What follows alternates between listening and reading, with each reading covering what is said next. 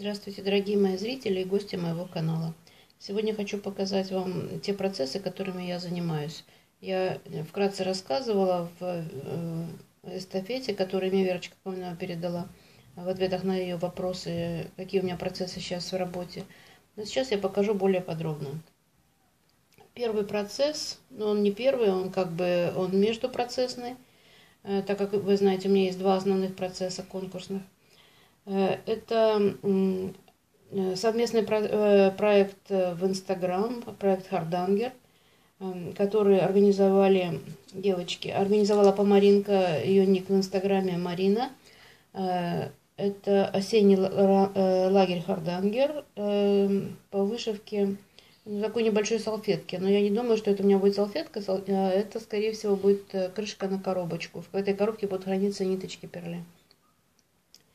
Э, вышиваю я вот на такой равномерке, это э, Лугана 28, 27 каунта, э, такого розового пепельного цвета. Вот вы слева видите то, что должно получиться в итоге.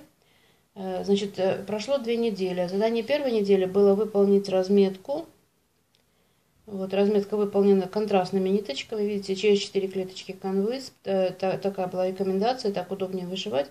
И выполнен вот этот вот шов строчевой ниточками перле э, экрю, перле номер 8. Хотя Марина писала, что нужно, в принципе, номер 12, но мне понравилось, что такой шов рельефный, высокий, выступает. Задание второй недели было вышить два элемента. Видно нижнее, интересно, вот так, да, видно, наверное. Э, два элемента, э, видите, заполняется Вся площадь, в каждой клеточке находятся отдельные элементы, все они, в общем-то, разные. Значит, пер, пер, задание первой недели было выполнить два элемента, вот этот первый и вот этот второй. Значит, вот элементы я уже выполнила, это задание, в принципе, было не такое уж сложное. Значит, здесь алжирские, алжирские глазки и э, гладевые стежки. Значит, этот, э, вот этот элемент немножко посложнее, этот попроще, но, так сказать, по возрастающей. Э, почему я вступила в этот совместный проект? У меня есть желание вышивать э, хардангером, ну, что-то более сложное, может быть, какие-то салфетки. Вот. Но я уже немножко подзабыла и давно уже не, этого не делала, поэтому э, мне хотелось поучаствовать. Видите, здесь самые разные и прорезная гладь разная, прорезные бриды разные, разные формы. Значит, мне хочется все это вспомнить и потом уже взять какой-то какой дизайн и вышивать. Вот, значит, э, ну так как я э, закончила уже работу на этой неделе, следующий этап будет, э, следующий элемент будет признан в понедельник. У меня осталось время, как вы думаете, что я делала? Я выбирала себе новый, новый проект. Вернее, я его выбрала уже давно. Я хотела на год петуха вышить именно эту картинку. Почему именно эту? Сейчас я объясню. Это дизайн Вероник Ажинжер. И видите, э, он напоминает мне по своему стилю э, работы ботанической коллекции. И дизайн квадратный. Э, очень хороший из него получится подушка. И по размеру он подходит к тем дизайнам, которые в ботанической коллекции. Они 120 на 120 крестиков. Это, это дизайн 110 на 110. Но здесь, видите, свободный воздух вокруг, и то есть э, можно сделать чуть шире э, и дальше эту подушку. Э, вот. И, значит, работы тут, в общем-то, немного. Тут в основном вышивается вот сам петух. Правда, там довольно намешанная схема, но как бы тут не так уж много этого. Остальное все, тут вот полукрест, сепия и вот это вообще бэкстич сплошной. Вот. Ну, значит, э, вчера я уже распечатала схему. Нашла перенабор в Pattern Maker. Э, э, усовершенствовала, так сказать, саму схему для себя. Распечатала. И уже готова была, в принципе, вчера вечером начать, но что-то мне стало лень. Почему лень, я объясню. Значит, вот я выбрала для основы вот такой вот лен. Не знаю, кто это.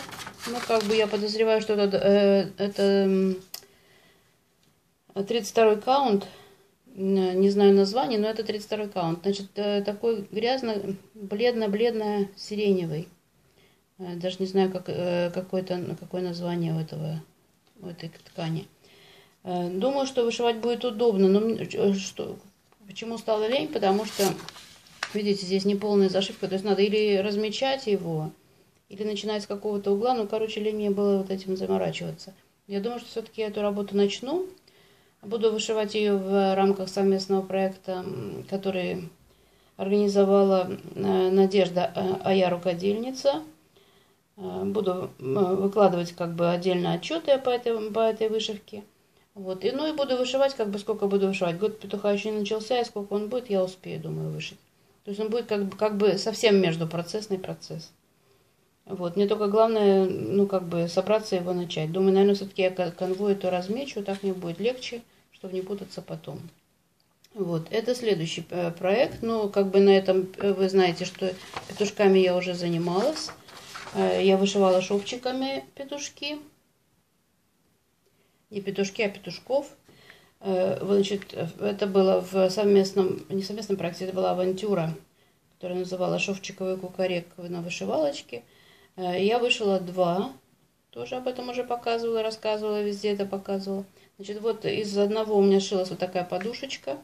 Размер ее 43 на 23, по-моему, сантиметра. Э, значит, вот из такой вот ткани, ну, она типа джинсовая, не джинсовая, ну, плотненькая такая ткань.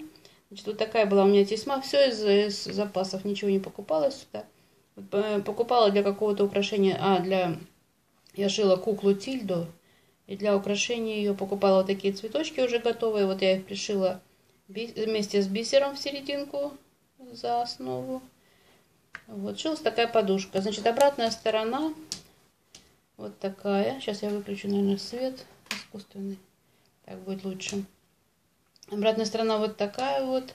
Э, вам она кажется более алая, значит, на самом деле ткань более бордовая. Вот так, наверное, лучше видно. Э, значит, э, здесь застежка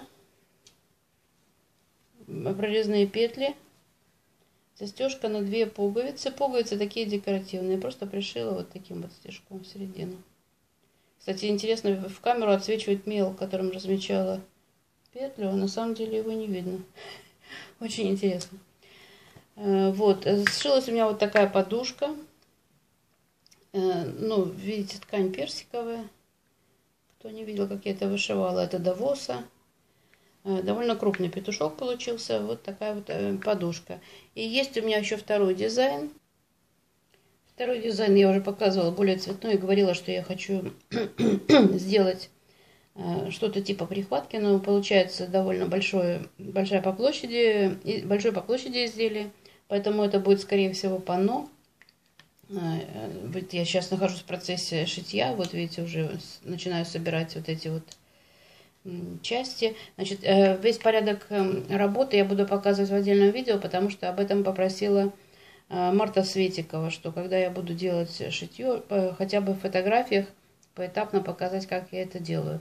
Но раз человек попросил, то это буду делать я, конечно, отдельно. Вот. И, значит, этот процесс тоже у меня в работе.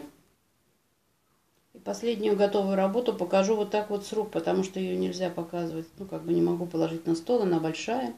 Вот в процессе блокировки у меня находится салфетка. Я ее закончила.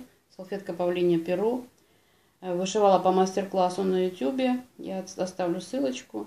Вот получилась такая салфетка. Значит, ниточки здесь хлопчатобумажные. Ушло почти два моточка.